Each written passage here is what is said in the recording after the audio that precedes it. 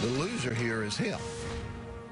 But ho, ho, ho, you can eat some turkey on Christmas Day at the county jail. Sheriff Grady Judd says the investigation into a Polk State College data breach led to a very disturbing discovery on a Winter Haven man's computer. Deputies arrested 38-year-old Brandon Diaz for hacking charges and possession of child pornography. News Channel 8's Justin Shecker live in the Tampa News Center tonight with the details on this and this investigation from the Sheriff's Office. Justin.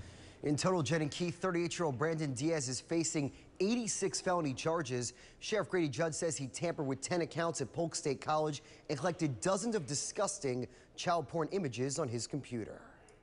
We've got a case here that you're just not going to believe. After losing his job at Lakeland Regional Health over a failed drug test, Sheriff Grady Judd says Polk State College terminated 38-year-old Brandon Diaz from his role in the EMS program. He decides that two of the instructors over at the Center for Public Safety were responsible for him losing his job. Sheriff Judd says Diaz decided to hack into the college's computer system in June and target those he felt were responsible for his firing.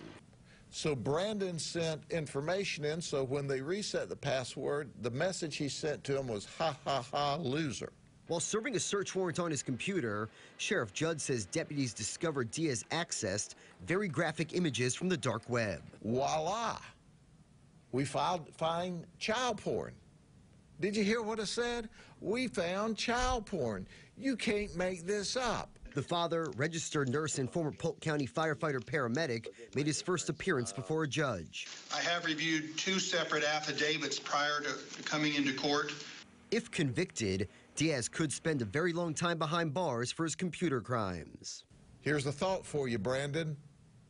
If you'd have just left everybody alone, at least for the time being, you'd be home for Christmas. And deputies say they did not find evidence of personal identity information being stolen. This investigation continues, and Sheriff Judd says it is possible they find even more images of child porn. The judge set the bond for Diaz at $386,000. Live in the Tampa News Center, I'm Justin Shecker, 8 on your side.